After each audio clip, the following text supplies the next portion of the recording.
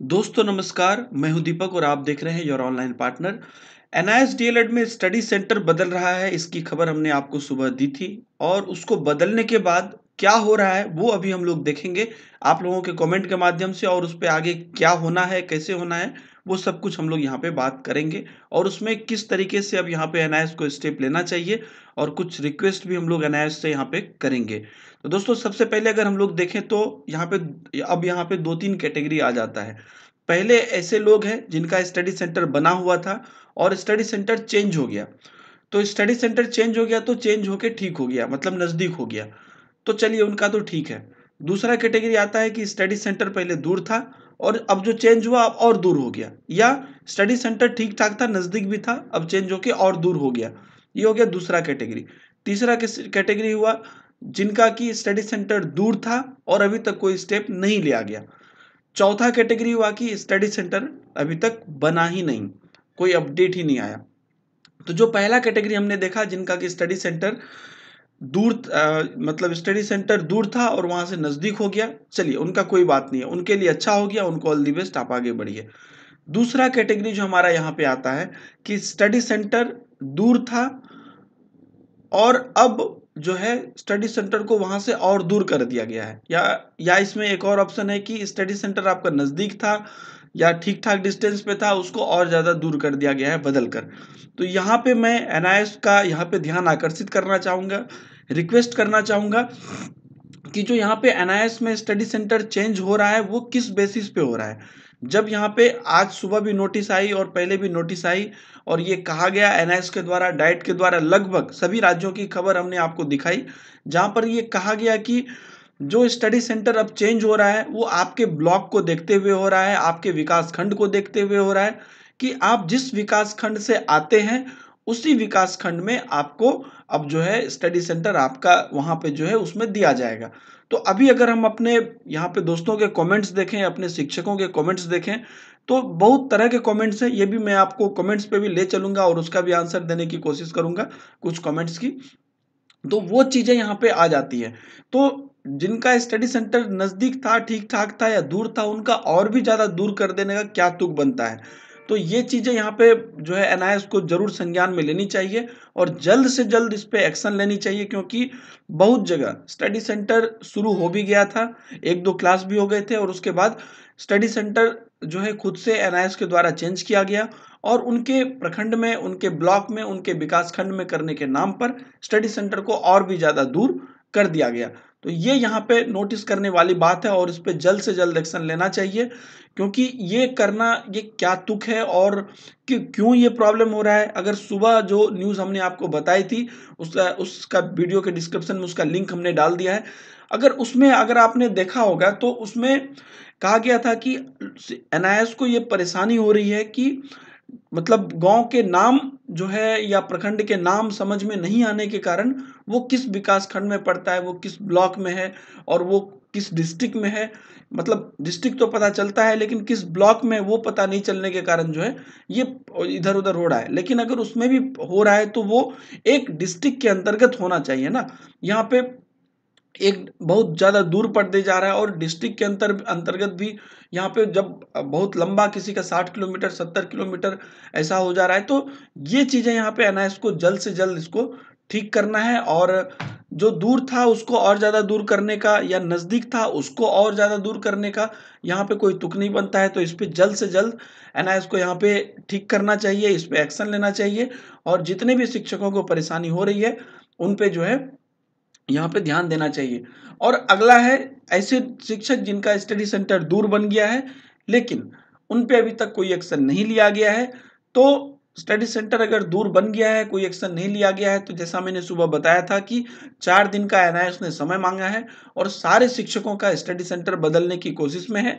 तो यहाँ पे फिर से मैं यहाँ पे एन से रिक्वेस्ट करूँगा कि जो स्टडी सेंटर दूर बन गया है, अब और जिनका अभी तक तो कोई परिवर्तन नहीं है, वह है कृपया उनको भी अब और ज़्यादा दूर ना बनाया जाए, उनको नज़दीक किया जाए और उनके विकास खंड में, उनके ब्लॉक में दिया जाए और स्टडी सेंटर बदलने के नाम पर कुछ भी बदला जा रहा है, ऐसा ना किया जाए, क्योंकि अभी ऑलरेडी उनका दूर है और अभी तक उनमें कोई परिवर्तन नहीं हुआ है। तो उनको परिवर्तन करके नज़दीक किया जाए, स्टडी सेंटर को उनके ब्लॉक के अंतर्गत लाया जाए और जो अगर कुछ किया जा रहा है तो उनके अच्छे के लिए किया जाए, ऐसा ना कि और ज़्यादा जो है परेशानी क्रिएट कर दिया जाए। यहाँ पर शिक्षकों को काफ़ी परेशानियाँ हो रही है और यहाँ पे महिलाएँ हैं, बहुत तरह तरह की परेशानियाँ हैं शिक्षकों को और स्कूल भी बंद, यहाँ पे प्राइवेट स्कूल में प्रॉब्लम क्या हो रहा है कि मान लीजिए कि छः सात शिक्षक हैं और सभी शिक्षक डीएलएड कर रहे हैं तो यहाँ पे शनिवार को भी क्लासेस चल रही है तो उनका स्कूल बंद हो जा रहा है।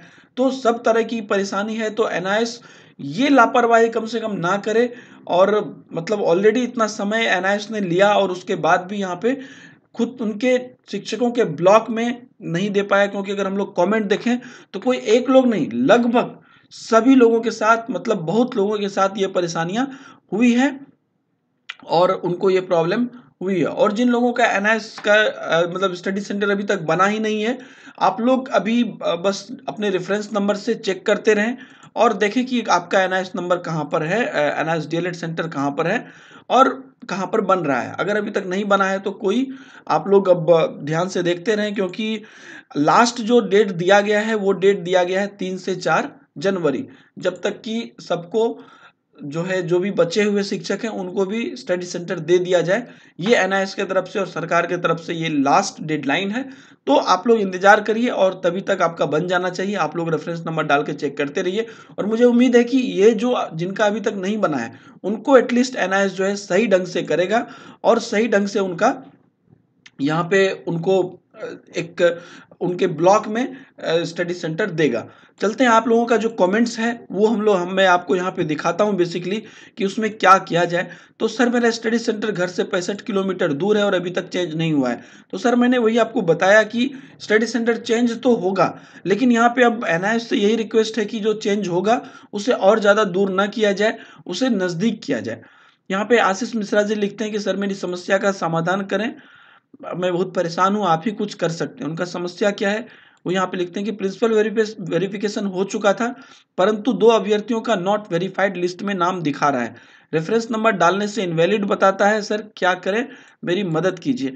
सर, आपका ये हो सकता है क्या कि जो शिक्षक थे, उनका प्रिंसिपल वेरिफिकेशन होने के बाद किसी न किसी कारणवश कैंसिलेशन हुआ होगा, चाहे वो स्कूल में, उसके बाद भी बहुत जगह पे वेरिफिकेशन हुई थी और शिक्षकों की जाँच हुई थी। सर, आप मुझे पर्सनली यहाँ पे हमारे जो है फेसबुक पेज पे आप मैसेज कीजिए, मैंने यहाँ पे लिंक डाल दिया है।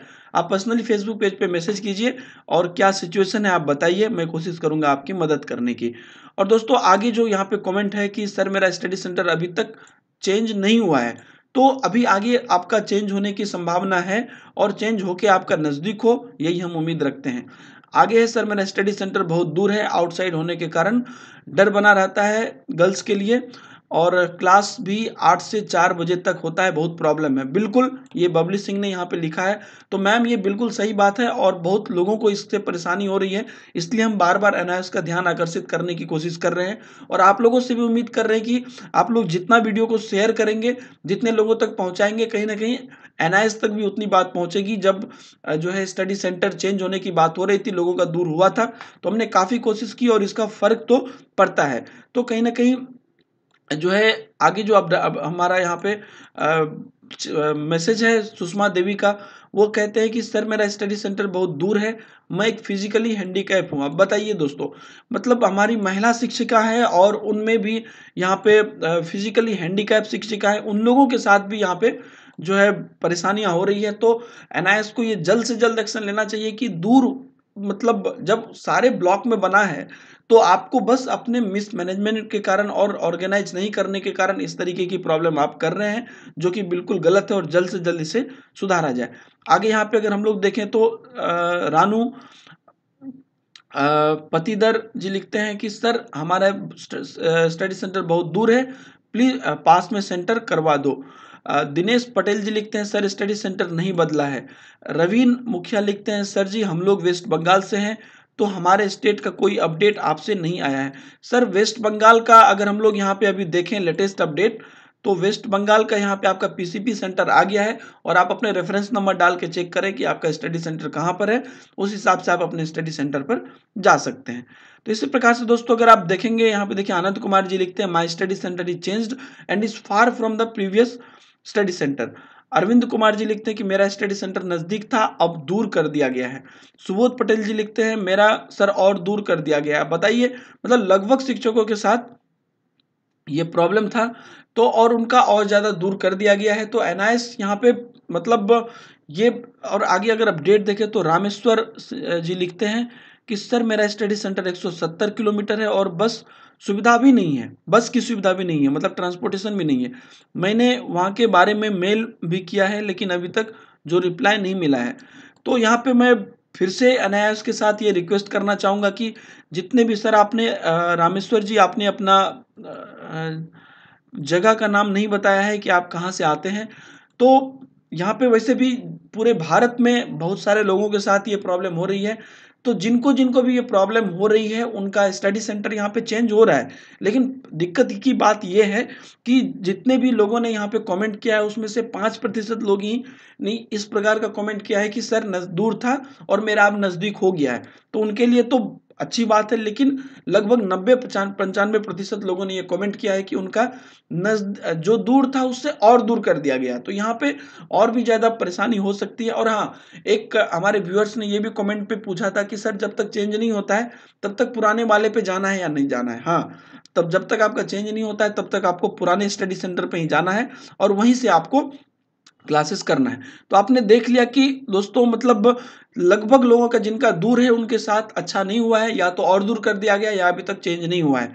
तो मैं यहाँ पे बिल्कुल रिक्वेस्ट करना चाहूँगा एन का ध्यान आकर्षित करना चाहूँगा। और दोस्तों, आप लोग भी इस वीडियो को शेयर कीजिए, ज़्यादा से ज़्यादा लोगों तक पहुँचाइए, ताकि सभी न्यूज़ में ये सब चीज़ें आए, और एन का भी ध्यान इससे आकर्षित हो, और लोगों को यहाँ पे उनके लास्टली ऑप्शन यही है कि उनके अपने ब्लॉक में दिया जाए, या बगल वाले ब्लॉक में दिया जाए। अगर ब्लॉक में उतना सीट नहीं है तो तो किसी ना किसी प्रकार से ये ऑप्शन किया जाए, ताकि सभी शिक्षकों को लाभ हो। हम आगे के अपडेट के साथ भी आपके साथ बने रहेंगे। अगले वीडियो तक के लिए इजाज़त दीजिए। वीडियो को ज़रूर शेयर कीजिए और ज़्यादा से ज़्यादा लोगों तक पहुँचाइए व्हाट्सअप फेसबुक जहाँ भी है उसके माध्यम से। और लाइक कर दीजिए अगर आपको मेरा प्रयास पसंद आता है तो। अगर आप हमारे चैनल पर नए हैं तो नीचे के रेड कलर के सब्सक्राइब बटन से वीडियो के नीचे में रेड कलर का सब्सक्राइब बटन होगा, वहाँ से आप चैनल को सब्सक्राइब कर सकते हैं और सब्सक्राइब करने के बाद बगल में बेल आइकन आएगा, उसे दबा देंगे तो आगे की वीडियो की नोटिफिकेशन मिलती रहेगी। मिलते हैं आपसे नई वीडियो में। दीजिए इजाज़त। बाय जय हिंद